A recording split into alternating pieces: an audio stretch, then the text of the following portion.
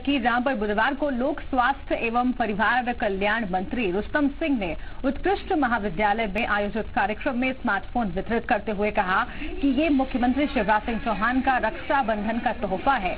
रुस्तम सिंह ने कहा कि स्मार्टफ़ोन का उपयोग छात्र पढ़ाई के लिए करें।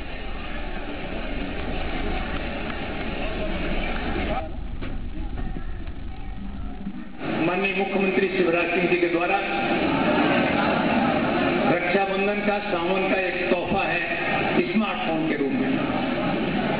इसका आप लोग उपयोग बेहतर करेंगे। जी मुझे बहुत ही बढ़िया लग रहा है और इससे मैं बहुत ही जानकारी प्राप्त हुई है पढ़ाई के संबंध में और मैं धन्यवाद कहता हूँ माननीय श्री मुख्यमंत्री शिवराज सिंह चौहान जी का धन्यवाद।